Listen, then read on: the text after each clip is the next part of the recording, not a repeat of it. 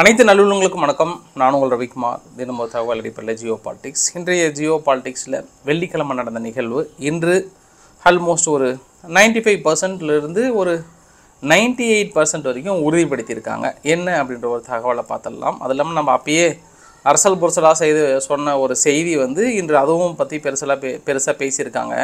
அப்படியே உங்களுக்கு ஒரு குழப்பமாக இருக்கும். என்ன ஒரு அரசல் புரசலான செய்தி அப்படின்னு உங்களுக்கு குழப்பமாக இருக்கும்.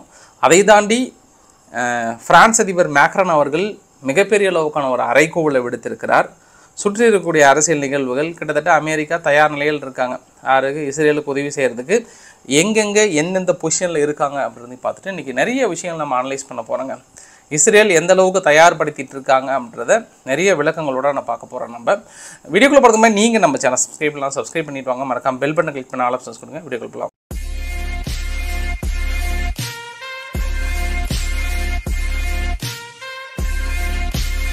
இந்த வீடியோ பதிவை எங்கேருந்து தொடங்குறது அப்படின்னா நம்ம ஃபஸ்ட்டு பெய்ரூட்லேருந்து தொடங்கிடலாம். லெபனானுடைய தலைநகர் பெய்ரூட் இருக்கு இல்லையா அங்கே. வெள்ளிக்கிழமை குறிப்பாக இஸ்ரேல் தரப்பில் பெரிய ஒரு கிளைம் பண்ணியிருந்தாங்க.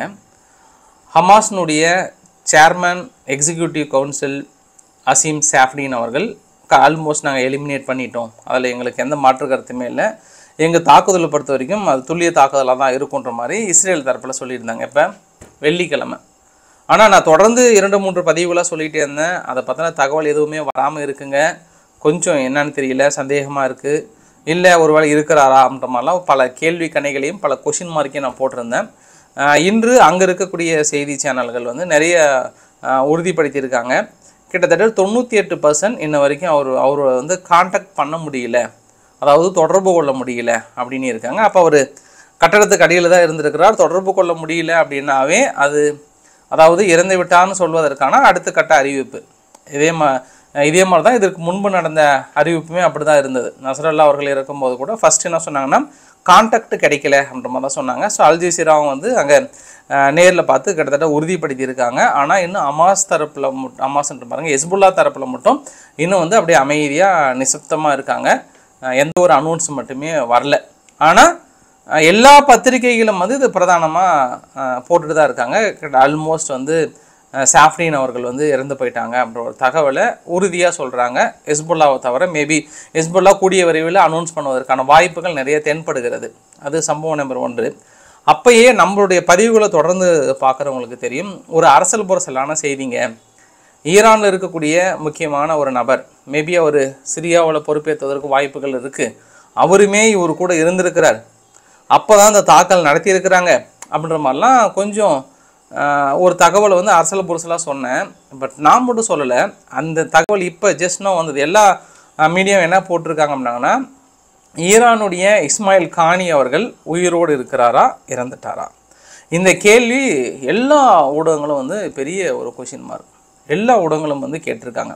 ஏன்னா அது அப்போயே எப்போ நான் வெள்ளிக்கிழமை இருந்து சொல்லிகிட்டு இருக்கேன்ல நிறைய பேர்த்துக்கு சந்தேகமாக இருக்கும். நான் அப்போ வந்து உங்ககிட்ட சொல்லியிருந்தேன். இந்த தகவலை சிறுமூலைக்கு அனுப்பாதீங்க. பெருமூலையில் அப்படியே ஸ்டோர் பண்ணி வச்சுக்கோங்க. இது மேபி டவுட்டாக இருக்குன்ற மாதிரி சொன்னேன். பட் ஐஆர்ஜிசியினுடைய தலைமை கமாண்டர் அதாவது இராணுவ ஜெனரல் அவரே அவரை பார்க்க போயிருக்கும்போது இந்த நிகழ்வு நடந்ததாக நிறைய பத்திரிகைகள் வந்து அப்படியே எழுதியிருக்காங்க. இன்னும் ஒரு சில ஊடகங்கள் ஒரு படி மேலே போயிட்டு இஸ்ரேலினுடைய ஊடகங்கள் என்ன சொல்கிறாங்கன்னா இல்லை இல்லை அவர் வந்து இறந்திருக்கலாம் அப்படின்ற மாதிரி வந்து சொல்கிறாங்க ஆனால் ஈரான் ஓடி வந்து என்ன சொல்லிட்டாங்கன்னா இது எல்லாமே போய் அவர் வந்து இறக்கலைன்னு இருக்காங்க. ஏன்னா காணி அவர்கள் பொறுத்த வரைக்கும் ரெண்டாயிரத்தி இருபதில் ஒரு தாக்கல் நடத்தினாங்க. யார் அப்படின்னா அமெரிக்கா வந்து ஒரு ட்ரோன் தாக்குதல் சுலைமானி அவர்களிடம் ஈரானில் இருக்கிற சுலைமான் அவர்கள் ட்ரோன் தாக்கல் நடத்தும் போது இவர் வந்து உயிர் தப்பினார். அதாவது காயங்களுடன் உயிர் தப்பினார். மறுபடியும் திரும்பி வந்தார். திரும்பி பணிக்கு வந்தார். அது பெரிய அளவுக்கு பேசப்பட்டது. அதனால் மறுபடியும் இந்த இடத்துல ஈரான் வந்து என்ன உறுதிப்படுத்தியிருக்காங்கன்னா அவர் நல்லா தான் இருக்கிறார் உயிரோடு இருக்கிறார் அவர் அங்கே போகவே இல்லைப்பா அப்படின்னு ஈரான் தரப்பில் உறுதியாக சொல்கிறாங்க இல்லை ஒரு சிலர் என்ன சொல்கிறாங்கன்னா அவர் வந்து காயமடைந்திருக்கிறார் அப்படின்ற மாதிரி வந்து சொல்கிறாங்க திடீர்னு ஏன் இந்த சந்தேகம்? இப்போ எல்லா பத்திரிகைகளும் வந்து ஏன் காணி அவர்கள் ஒரு ஐஆர்ஜிசினுடைய ஒரு தலைமை பொறுப்போட தளபதி அவர் அவரை பற்றி திடீர்னு இப்போ பற்றி பேசுகிறாங்கன்னா வெள்ளிக்கிழமை நடந்த அந்த ஃப்ரைடே மீட்டிங் காமினி அவர்கள் இருக்கும்போது அதிபர் இருந்திருக்கிறார் மீதி எல்லாமே இருந்திருக்கிறாங்க. அவர் மட்டும் இல்லை அந்த இடத்துல. அவர் மட்டும் அந்த இடத்துல இல்லைன்றதுனால இத்தனை கேள்விகள் எழுந்திருக்கிறது. ஸோ நமக்கு கிடைத்த தகவல் கிட்டத்தட்ட நான் வெள்ளிக்கிழமை சொல்லும்போது போது நிறைய பேர் வந்து சொன்னாங்க சும்மா தான் பண்ணி அடிச்சு விட்றேன் அப்படின்ற சொன்னாங்க. ஆக்சுவலாக ரியல் அரசல் பொருசலாக வந்த செய்திங்க அப்படின்மா சொன்னோம். ஸோ இப்போ பார்க்கலாம். காயமடைந்திருக்கிறார்ன்ற மாதிரி வந்து சொல்லியிருக்காங்க. மேபி அவர் அட்டன் பண்ணாமல் கூட இருந்திருக்கலாம். ஏதோ ஒரு சம்பவம் அந்த இடத்துல நிகழ்ந்திருக்கிறது. ஈரான் தரப்பில் முழுமையான விளக்கங்கள். அப்படி இல்லைன்னா அவர் அவரையே பேட்டி கொடுக்க வச்சுருக்கலாம் காலையிலேருந்து. ஏன்னா இதை பற்றி பேசுகிறாங்க இல்லையா? தொடர்ந்து எல்லா ஊடகங்களும் பேசுகிறாங்க எல்லோரும் இந்த பக்கம் பேசுகிறாங்கன்னும் போது அவரையே உட்கார வச்சு ஒரு பேட்டி கொடுத்துருந்தாருன்னா மொத்தமாக முடிஞ்சு போயிருக்கும் ஆனால் ஈரான் இது வரைக்கும் அதை எதுவும் பண்ணாமல் இருக்காங்க. ஸோ பொறுத்திருந்து பார்க்கலாம். இருந்தாலும் கொஞ்சம் இஸ்ரேலுக்கு கொஞ்சம் குசும்பு அதிகம் தான் அவங்களுக்கு. என்ன அப்படின்னா இஸ்ரேலினுடைய foreign minister foreign affairs minister வந்து எப்படி அவருடைய எக்ஸலத்தில் போட்டிருக்காருன்னா இந்த புகைப்படத்தை போட்டுட்டு take your proxies and leave Lebanon உங்கள் ஆளை எடுத்துக்கோங்க லெபனானை விட்டு கிளம்புங்க அப்படின்ற மாதிரி யார்? நசரல்லா அவர்களையும் நேற்று இறந்து போனவங்களையும் வந்து சாரி இன்று சாஃப்ரின் அவர்களையும் வந்து இணைந்து ஒரு பதிவு வந்து போட்டிருந்தாங்க. ஸோ அதான் நான் நினச்சிக்கிட்டேன். இஸ்ரேலுக்கு வந்து இன்னும் குசும்பு போகலை போல அப்படின்ற மாதிரி நான் நினச்சிக்கிட்டேன். ஏன்னா இந்த பதிவு ஹெஸ்புல்லா தரப்பில் இன்னும் பயங்கர டென்ஷனாக இருக்கும். ஏற்கனவே நசரல்லா அவர்கள் எழுந்ததுக்கே ரொம்ப கடுமையான தாக்குதல்கள் அடுத்தடுத்த ஈரான் நடவடிக்கையெல்லாம் ரொம்ப ஒரு பதற்றமாக இருக்குது எல்லாருமே பதற்றமாக இருக்கீங்க. நம்ம சேனலில் தவிர மீதி எல்லா சேனலும் வந்து உங்களை அப்படியே தூங்க விடாமல் பரபரப்பாக நுனியில் உட்கார வச்சிருக்கிறாங்க. அது நம்ம தான் அப்படி அப்படி இப்படின்னு சொல்லிகிட்டு இருக்கிறோம். அப்படி இருக்கும்போது நீங்கள் இப்படி ஒரு செய்தியை இப்படி எக்ஸலத்தில் போடலாமா? அப்படின்றது எனக்குள்ள ஒரு கேள்வி இருந்தது. இன்னும் உங்களுக்கு பரபரப்பாக சொல்லணும் அப்படின்னா இந்த புகைப்படத்தை பார்த்தீங்கன்னாவே அங்கே இருக்கக்கூடிய சூழ்நிலை எப்படின்னு தெரியும். அதாவது இஸ்ரேலுடைய இஸ்ரேலினுடைய டிஃபென்ஸ் ஃபோர்ஸ் வந்து இஸ்ரேல் ஆர்மி ஆஃப் ரேடியோவில் என்ன சொல்லியிருக்காங்கன்னா கூடிய விரைவில் நம்ம நமக்கான ஆயத்த பணிகளை ஆல்மோஸ்ட் நம்ம நெருங்கிட்டோன்ற மாதிரி வந்து சொல்லியிருக்காங்க. உங்களுக்கு நான் இரண்டு எக்ஸாம்பிள் வரைபடத்தோடு காட்டுறேன். மொதல் வரைபடம் என்ன அப்படின்னா ஃபஸ்ட்டு அமெரிக்காவுடைய ஏர்ஃபோர்ஸ் சி செவன்டீன் டெல்லவியூவில் வந்து லேண்டம் லேண்ட் ஆகிருக்கு யூஎஸ்னுடைய சென்டம்னுடைய சீஃப் வந்து ஆன்போர்டில் இருந்துக்கிறார் அவர் வந்து இஸ்ரேலோட ஜாயின் பண்ண போகிறார் அதாவது ஈரானுக்கு எதிரான தாக்கத்தில் எப்படி நிகழ்த்தலாம் அப்படின்ற மாதிரி. அடுத்து இன்னொன்று என்னென்னா இன்னொரு பக்கத்தில் இருக்கிறது யூகேனுடைய Royal Air Force A four hundred cargo வந்து ஃபுல்லாக ட்ரூப்பு மிலிட்டரி எக்யூப்மெண்ட் எல்லாமே வந்து டெல்லவியூவில் வந்து இறங்கியிருக்கிறது. அகோரி ட்ரீ அப்படின்ற ஒரு பகுதியில் இறங்கியிருக்கு. இது சம்பவம் நம்பர் ஒன்று எடுத்துக்கலாம். சம்பவம் நம்பர் இரண்டு என்ன அப்படின்னா அல் உதயத் ஏர்பேஸ் கத்தாரில் இருக்கு இல்லையா? அந்த கத்தாரில் இருக்கக்கூடிய அல் உதயத் ஏர்பேஸில் ஒட்டுமொத்த விமானம் அதாவது அமெரிக்கா கிட்ட இருக்கக்கூடிய விமானங்களும் சரி ஆர்சி ஹெச் எயிட் ஃபைவ் எயிட்டும் சரி இந்த பக்கமும் பெரிய அங்கே போயிட்டு வந்து ஒரு தயார் நிலையில் இருக்க இது தற்போது கிடைத்த தகவல் அதாவது அக்டோபர் அஞ்சு சாட்டர்டே கிட்டத்தட்ட ஆறு ஜீரோ ஏழுக்கு நான் சொல்கிறேன் அப்படின்னும்போது அங்கே இருக்கக்கூடிய ஏர்பேஸ் இங்கே டெல்லவியூவில் வந்து யூஎஸ்னுடைய central commander general Michael Kurilla அவர்கள் வந்து இறங்கியிருக்கிறார். ஸோ இன்னும் இரண்டு மூன்று ஜென்ரல் கமாண்டர்லாம் வந்து இறங்கியிருக்கிறாங்க. இவங்க தலைமையில் இஸ்ரேல் பெரிய அளவுக்கு கூடியிருக்கிறது பெரிய அளவுக்கு விவாதம் செய்திருக்கிறது. எங்கே நடத்தலாம் எங்கே அடிக்கலாம் எங்கே துவங்கலாம் அப்படின்ற மாதிரியான பேச்சுகள் நடைபெற்று கொண்டிருக்கிறது. இன்னும் உங்களுக்கு ரொம்ப டீட்டெயிலாக டெப்த்தாக சொல்லணும் அப்படின்னா அந்த வரைபடத்தை பாருங்கள் மறுபடியும் வரைபடம் நினச்சிடாதீங்க இந்த வரைபடத்தில் இஸ்ரேலுக்கு பக்கத்தில் ஃபஸ்ட் நம்ம நேராக இஸ்ரேலுக்கு போயிடலாம். இஸ்ரேல் பக்கத்தில் ஒரு பெரிய போர்க்கப்பல்கள் அங்கே பாதுகாப்புக்கு நிறுத்தி வச்சுருக்காங்க. யூஎஸ்னுடைய வாஷ் அப்படின்ற ஒரு போர்க்கப்பல் அங்கே இருக்கா? அப்படியே நம்ம கீழே வந்தோம் அப்படின்னா யூஎஸ்எஸ் ஆப்ரஹாம் லிங்கன் அரேபியன்சியை நோக்கி அப்படியே இந்த பக்கம் வந்துட்டுருக்கு மறுபடியும் வந்து களத்தில் இறங்குறது. அங்கேயும் ரெட்சி கடல் பகுதியிலிருந்து அங்கே போதா? இல்லை ஈரானை நோக்கி போதா அப்படின்னு நம்ம பொறுத்திருந்து பார்க்கலாம். ஆனால் ஸ்பாட்டுக்கு வந்துருச்சு பாருங்கள் இத்தனை நாள் இல்லாமல் இருந்தது. அந்த இடத்துல ஸ்பாட்டுக்கு வந்து சேர்ந்துருச்சாங்க அவங்களும்.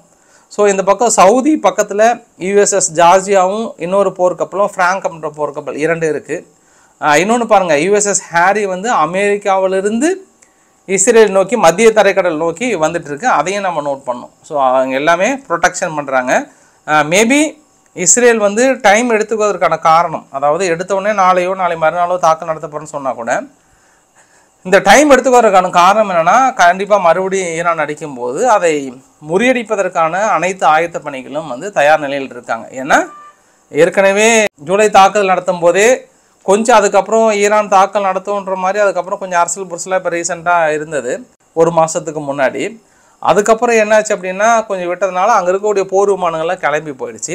சப்போஸ் இந்த போர் விமானங்கள்லாம் இருந்தது அப்படின்னா ஒரு இருபத்தஞ்சு பாலஸ்டிக் ஏவுகணைகள் இஸ்ரேலுக்குள்ளே விழுந்து வெடித்ததாக சொல்கிறாங்களே அதை இடைமறித்து தாக்கல் நடத்தியிருக்கலாம் அப்படின்ற மாதிரி வந்து அமெரிக்கா தரப்பில் திங்க் பண்ணுறாங்க அதனால் அமெரிக்கா முழுமையாக ப்ரொடெக்ஷன் பண்ணுறாங்க பட் அமெரிக்கா தரப்பில் இருக்கக்கூடிய கிளாரிஃபிகேஷன் என்ன அப்படின்னா நாங்கள் இந்த போரில் வந்து தலையிடலை. தலையிடலை மீன்ஸ் நாங்கள் ஈரான் மீது தாக்கம் நடத்துறதோ இல்லை அழிவுகளை ஏற்படுத்தோ எங்களுடைய நோக்கம் அல்ல. நாங்கள் நடத்த மாட்டோம்.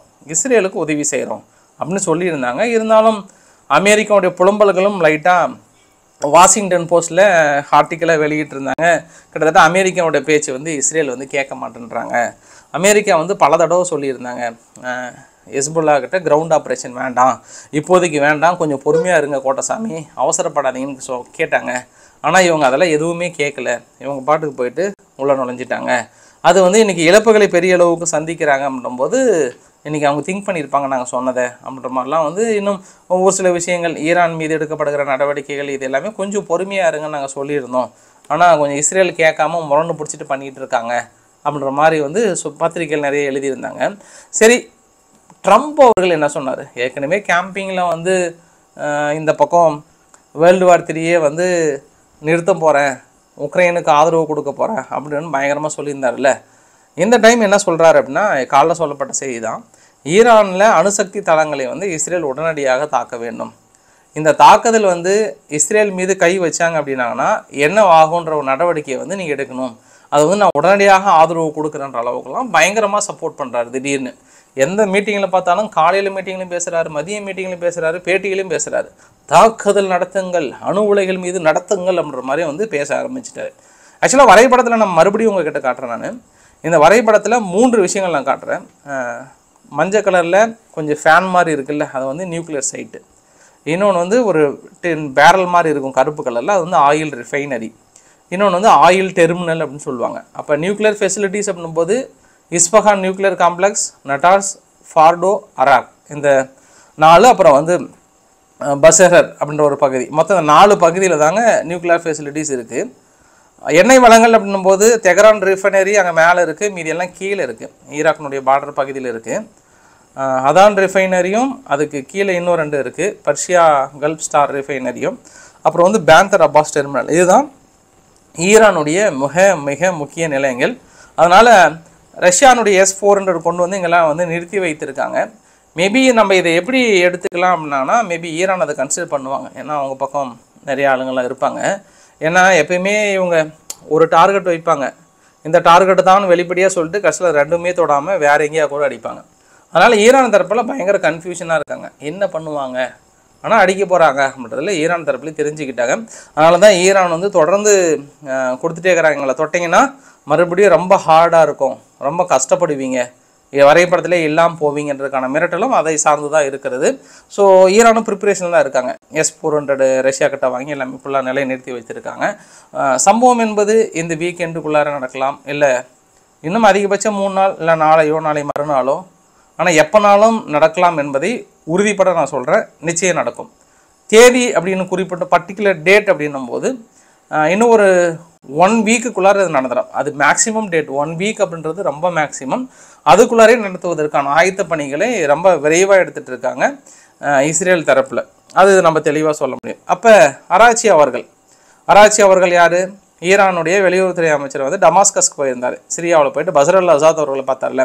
அவரை பார்த்துட்டு பெரிய அளவுக்கான பேச்சுவார்த்தைலாம் நடத்திட்டு அந்த பேச்சுவார்த்தைக்கு அப்புறம் அங்கே இருக்கக்கூடிய ரெசிஸ்டன்ஸும் சரி சிரியாவுக்கும் சரி நாங்கள் பெரிய அளவுக்கு உதவிகள் செய்ய தயாராக இருக்கோம். ஸோ பர்டிகுலராக இவங்க லெபனானுடைய மக்களுக்கான மறுவாழ்வுக்காகவும் இல்லை லெபனானுடைய முழு சுதந்திரத்திற்காகவும் நாங்கள் பெரிய அளவுக்கு கம்பைண்டாக இருக்க போகிறோன்ற மாதிரிலாம் சொல்லிட்டு இன்னொரு விஷயம் சொல்லியிருக்கிறாரு செய்தியாளர்கிட்ட. கண்டிப்பாக நாங்கள் இஸ்ரேலுக்கு எதிராக நடத்தப்படுகிற தாக்குதல் எங்களோட ரெஸ்பான்ஸ் எல்லாமே வந்து கிளியர் அண்டு டைரக்ட் அவங்கள மாதிரி மறைமுகமாக அழுகுனி ஆட்டம்லாம் எங்ககிட்ட கிடையாது. டைரக்ட் அண்ட் கிளியர் நேருக்கு நேராக நெத்திக்கு நெத்தி அடிப்போம். இன்னொன்று வந்து நாங்கள் கொடுக்குற ரியாக்ஷனில் வந்து ரொம்ப ஸ்ட்ராங்காக இருக்கும். அவங்களாம் நினைக்கவே முடியாது. ஓ இப்படி தான் இருக்குமா? அப்படின்னா அடை அவ்வளோ ரொம்ப ஸ்ட்ராங்காக இருக்குன்ற மாதிரி சொல்லியிருக்காங்க. எங்களை ரொம்ப டெஸ்ட் பண்ண விரும்புகிறாங்க அந்த டெஸ்ட்டுக்கு நாங்கள் வெல்கம் கொடுக்குறோம். அடிக்கிட்டோம். பேசிக்கலாம். முடிச்சிடணும் அப்படின்ற மாதிரி தான் அராச்சி அவர்கள் வந்து சொல்லியிருக்காங்க. ஸோ பசரல் அசாத் அவர்களும் வந்து முழு உதவி செய்கிறேன்னு இருக்காங்க. அங்கே இருக்கக்கூடிய ரெசிஸ்டன்ஸ் ரெசிஸ்டன்ஸுக்கான முழு உதவிகளையும் நாங்கள் செய்ய தயாராக இருக்கிறோம் அப்படின்ற மாதிரிலாம் பெரிய அனௌன்ஸ்மெண்ட் ஸோ ஈரான் வளர்ச்சி வளர்ச்சி லெபனான் லெபனான்லேருந்து சிரியா நாளைக்கு எங்கே போகிறார் அப்படின்ற ஒரு கேள்விக்குறிகளை போட்டுக்கலாம் மேபி ஈராக் போவதற்கான வாய்ப்புகள் இருக்குது ஏன்னா ரொம்ப கான்ஃபிடண்ட்டாக இருக்கிறாங்க. மறுபடியும் இன்னைக்கு இன்னொரு வார்த்தை கூட சொல்லியிருக்கிறாரு. குறிப்பாக கத்தாரில் போயிட்டு விமானங்கள்லாம் போர் விமானங்கள்லாம் இறங்கியிருக்கு. ஆனால் இதே கத்தார்லாம் கொஞ்ச நாளைக்கு முன்னாடி என்ன சொன்னாங்கன்னா நாங்கள் ஈரான் மீது தாக்கல் நடத்தும் பட்சத்தில் அந்த போரில் நாங்கள் நியூட்ராலிட்டியை கடைபிடிக்கிறோம். அதனால் எங்கள் பா வான்பரப்பை யூஸ் பண்ணாதீங்க அப்படின்ற மாதிரி சொல்லும். இப்போ அமெரிக்கா என்ன சொல்ல வரோம்னா இல்லைங்க நாங்கள் ஈரானை தாக்கல் நடத்துறதுக்கு இந்த தளத்தை யூஸ் பண்ணல. தடுப்புக்காக அதாவது அவங்க நடத்தப்படுகிற தாக்கலை தடுக்கிறதுக்காக தான் பயன்படுத்துகிறோம் மற்றபடி நாங்கள் ஈரானை போய் சுடுறதுக்காகலாம் இல்லைன்னா அமெரிக்கா அந்த இடத்துல விளக்கம் கொடுப்பதற்கு வாய்ப்புகள் இருக்குது ஸோ பெரிய சம்பவம். பட் ஆனால் அவர் குறிப்பாக டமாஸ்கஸ் பகுதியில் போகும்போது டமாஸ்கஸ் பகுதியில் ஹோம்ஸ் என்ற ஒரு பகுதியில் ஒரு ட்ரோன் தாக்குதல் நடத்தியிருக்கிறது இஸ்ரேல். அந்த ட்ரோன் தாக்குதலில் ஒரு கார் ஒன்று வந்திருக்கிறது. அந்த காரில் துளிய தாக்கல் நடத்தியிருக்காங்க. மூன்று பேரில் நாலு பேர் பக்கம் இருந்து போனதாக சொல்கிறாங்க இப்போ சுட சுட வந்த செய்தி. அதனால் யார் எதற்காக நடத்தப்பட்டது? என்ன டார்கெட் அப்படின்ற சம்பவம் இன்னும் கிடைக்கல. ஸோ உங்களுக்கு மேபி நாளை கிடைச்சிது அப்படின்னா சொல்கிறேன் இந்த ஒட்டுமொத்த இஸ்ரேல் வாருக்கான மிகப்பெரிய ஒரு திருப்பு முனை என்ன அப்படின்னா நீங்கள் எதிர்பார்க்காத ஒரு திருப்பு முனை இது வரைக்கும் நீங்கள் ஏற்கனவே கேள்விப்பட்டிருந்தா கூட இந்த செய்தி உங்களுக்கு கொஞ்சம் புதுசாக தான் இருக்கும் கொஞ்சம் ஷாக்கிங்காக இருக்கும். கொஞ்சம் ஏதாவது டேபிள் அது மாதிரி இருந்தால் கொஞ்சம் பிடிச்சிட்டு அப்படியே பாருங்கள் காரணம் என்ன அப்படின்னா பிரான்ஸ் அதிபர் மேக்ரன் அவர்கள் வந்து ஒரு அரைக்கோவல் விடுத்திருக்கிறார். என்ன அரைக்கோவல் என்றால் இனி நிறுத்துங்கள். இஸ்ரேலுக்கு கொடுக்க வேண்டிய ஆயுதங்களை உடனடியாக நிறுத்துங்கள். நாம் மட்டும் இல்லை அனைத்து நாடுகளும் நிறுத்துங்கள். போதும். அடி இது அடி கொடுத்ததும் போதும் அடி வாங்கினதும் போதும். நாங்கள் வந்து ஒரு அமைதிக்கான சூழ்நிலையை கொண்டு வரணும்னு நினைக்கிறோம். குறிப்பாக லெபனானுடைய தலைநகர் பெய்ரூட்டு இன்னொரு காசாவாக பார்க்க எனக்கு மனசு இல்லை அதனால் அங்கே இருக்கக்கூடிய மக்களையும் மண்ணையும் காப்பாற்ற வேண்டியதனுடைய சூழ்நிலை நிறுத்துங்கள் அப்படின்ற மாதிரியான அறிவிப்பு. குறிப்பு நாங்கள் இனி ஆயுதங்களை கொடுக்க மாட்டோம். இதில் வந்து நான் அறுதிட்டு கூறுகிறேன்ற மாதிரி சொல்லிட்டாங்க. அப்போ தான் ஒரு பொலி பொலிட்டிக்கல் சொல்யூஷன் கிடைக்கும்னு சொல்லியிருக்கார். ஸோ பார்க்கலாம். திடீர்னு ஃப்ரான்ஸ் அதிபர் மேக்ரன் இதே மாதிரி தான் ஒரு ரெண்டு நாளைக்கு முன்னாடி கூட சொன்னார். அப்புறம் திடீர்னு மனசை மாற்றிக்கிட்டார் பட் இந்த தடவை யார் சொன்னாலும் சரி அவங்க பிரகட்டின்னு நினைக்கிறேன் அவங்க ஒய்ஃப் அவங்க. அவங்க வந்து அந்த பாட்டிமா சொன்னால் கூட நான் கேட்க மாட்டேன் அப்படின்ற மாதிரி தான் வந்து ரொம்ப முடிவில் ரொம்ப ஸ்ட்ராங்காக இருக்கிறார். பட் எத்தனை நாளைக்குன்னு தெரியல. ஏன்னா இந்த மாதிரி ஃப்ரான்ஸ் அதிபர் மேக்கரன் அவர்கள் திடீர் திடீர்னு காலையில இருந்து ஒரு வீரப்பாக பேசுகிறாரு ஆனால் சாயந்தரம் வந்து அவர் மனசு மாற்றிடுறாரு பட் இருந்தாலும் ஆயுதங்களையும் கொடுக்க வேண்டாம்ன்றதுல ரொம்ப தீர்க்கமாக இருக்கிறார். ஏன்னா கிறிஸ் டார்மர் அவர்கள் கூட யூகேனுடைய பிரதமரை சொல்கிறேன் இந்த மாதிரி முடிவு எடுத்திருந்தார். ஆனால் இன்றைக்கி நான் சேட்டலைட் இமேஜஸோட காட்டும் போது விமானங்கள் வந்து இறங்கியிருக்கிறது. கொஞ்சம் ஒரு சில ஆயுதங்கள் வந்து இறங்கி தகவலும் நம்மளுக்கு அரசியல் பொருட்களாக வந்திருக்கிறது. தாக்குதல் அப்படின்னும் போது பெய்ரூட்டில் ஒரு மணி நேரத்தில் ஆறு ஸ்ட்ரைக் நடத்தியிருக்காங்க. ஒரு மணி நேரத்தில் மட்டும் அந்த வீடியோ எடுக்கிறதுக்கு கொஞ்சம் நேரத்துக்கு முன்னாடி கூட. ஸோ பெய்ரூட்டை ரொம்ப டார்கெட் வச்சுட்டாங்க. இஸ்ரேல் வந்து ரொம்ப டார்கெட் பெரிய அளவுக்கு அடுத்தடுத்து நடத்திட்டே இருக்கிறாங்க. இப்போ கூட ஒரு தாக்குதல் கிட்டத்தட்ட யார் மீதோ குறி வைத்து நடத்தப்பட்டதாகவும் செய்திகள் வந்திருக்கிறது. அதுவும் எனக்கு கன்ஃபார்ம்டாக தெரியல. எல்லாமே அன்கன்ஃபார்ம் நியூஸாக இருக்குது அதனால் உங்களுக்கு பெய்ரூட்டில் நடத்தப்பட்ட தாக்குதலை சொல்கிறேன் நான். அதுவுமே கொஞ்சம் டவுட்டாக தான் இருக்குது யார் என்னன்னு தெரியல. இன்னொன்று என்னென்னா ஹெஸ்புல்லாவும் பதிலுக்கு நார்த்தன் இஸ்ரேல் பகுதியில் மற்றும் ஒரு மூன்று நான்கு வீடுகள் மீது விழுந்து வெடித்திருக்கிறது. அதுக்கான வீடியோ பதிவுகள் பெரிய அளவுக்கு வயலாக இருக்கிறது. அதே போல் ஹிஸ்புல்லா வந்து இஸ்ரேலுடைய மிலிட்டரி டேவிட் பேசஸ் அப்படின்ற மிலிட்டரி பேசஸ் மீது ஒரு அஞ்சு ஃபேடி மிசைல்ஸ் மூலிமா தாக்கல் நடத்தியிருக்கும். நேரடி இழப்புகளை சந்தித்திருக்கிறதுன்ற மாதிரி சொல்லியிருக்காங்க. கிரவுண்ட் ஆப்ரேஷனில் இஸ்ரேல் தடுமாறி இருக்கிறதுன்றதை உலகம் அறிந்த விஷயம். தொடர்ந்து அவங்க தடுமாறிட்டு தான் இருக்காங்க. இருந்தாலும் இஸ்ரேல் தரப்பில் என்ன கிளைம் பண்ணியிருக்காங்கன்னா நானூறு எஸ்புல்லா ஃபைட்டர்ஸை தும்சம் பண்ணி தூளாக்கியிருக்கிறோம் முடிச்சிட்டோம்ன்ற மாதிரி வந்து இஸ்ரேல் தரப்பில் வந்து சொல்லியிருக்காங்க. அவங்க எஸ்புல்லா தரப்பில் இன்று ஒரு நாள் மட்டும் கிட்டத்தட்ட அவங்க முப்பத்தெட்டு இஸ்ரேலுடைய ஃபைட்டர்ஸ் வந்து இறந்து போயிருப்பாங்க அப்படின்ற மாதிரி வந்து சொல்லியிருக்காங்க. ஸோ அங்கே சம்பவம் என்பது ரொம்ப சூடாக தான் போயிட்டுருக்கு. கொஞ்சம் கூட ஓயவே இல்லை. இன்று கூட காலையிலிருந்து சாயந்தரம் வரைக்கும் எஸ்புல்லா நூறு ராக்கெட்டுக்கு மேலே டெல்லவியூ நோக்கி அனுப்பிட்டு தான் இருந்தாங்க. அது கூட வீடியோ பற்றி நான் டெலகிராமில் ஷேர் பண்ணியிருந்தேன். அது சுட்டு வீழ்த்திட்டு இருந்தாங்க அப்படின்ற மாதிரி வந்து சொன்னேன். ஸோ தொடர்ந்து இந்த பக்கம் ராக்கெட் வருது சுட்டு வீழ்த்துறது அந்த கடுமையான யுத்தம். இந்த பக்கம் காசாவை முழுமையாக மறந்துட்டாங்க. இந்த சூழ்நிலையை இஸ்ரேல் வந்து தனக்கு சாதகமாக பயன்படுத்தி தாக்குதலை நடத்தி கொண்டிருக்கிறது. பாலஸ்தீனத்துக்கு தாக்கல் நடத்தி கொண்டிருக்கிறதுன்ற பதவியும் பதிவோட. இன்னொரு இடத்துல பார்த்தோம்னா சிரியாவில் டயர் ஜோர் அப்படின்ற ஒரு பகுதி இருக்குது அந்த இடத்துல அமெரிக்காவுடைய ஆக்கிரமிக்கப்பட்ட எண்ணெய் கிணறுகள்லாம் அந்த இடத்துல இருக்குது ஸோ அந்த இடத்துல ஒரு பெரிய ட்ரோன் அட்டாக் ட்ரை பண்ணியிருக்கிறாங்க. பட் அமெரிக்க தரப்பில் வீழ்த்தப்பட்டதாக சொல்கிறாங்க இருந்தாலும் அந்த இடத்துல சம்பவம் கொஞ்சம் கடுமையாக தான் இருக்குது ஃபைனலாக அந்த வீடியோ நிறைய பகுதி நோக்கி போயிட்டுருக்கோம் எமிரேட்ஸ் விமானம் என்ன பண்ணிட்டாங்க? இதுக்கப்புறம் எங்கள் விமானத்துக்குள்ளே பேஜரையும் வாக்கி டாக்கியும் யாரும் கொண்டு வந்துடாதீங்க அப்படின்னு ஒரு அறிவிப்பு கொடுக்குறாங்க. பேஜரும் வாக்கி டாக்கியும் யாருங்க கொண்டு வர போகிறாங்க நவீன காலம் எவ்வளோ வளர்ந்து போச்சு. பேஜர் வந்து மோஸ்ட்லி எனக்கு தெரிஞ்ச எஸ்புல்லாவும் இந்த பக்கம் யாராவது பயன்படுத்தியிருந்தா தான். பட் இப்போ பொதுமக்கள் கையில் பேஜர் பார்க்குறதே ரொம்ப அதிசய பொருளாக இருக்குல்ல. ஆனால் பயன்படுத்தக்கூடாதுன்ற மாதிரி வந்து சொல்லியிருக்கிறாங்க ஒன்று. உக்ரைனுடைய செய்திகள் அப்படின்னா உக்ரைன் என்ன பண்ணியிருக்காங்க? ஜென்ரல் ஸ்டேப் வந்து மூன்று ரஷ்யானுடைய கமாண்ட் போஸ்ட் வந்து ஸ்ட்ரோம் ஷேடோ மூலிமா வந்து சுட்டு வீழ்த்திருக்குன்னு சொல்லியிருக்காங்க.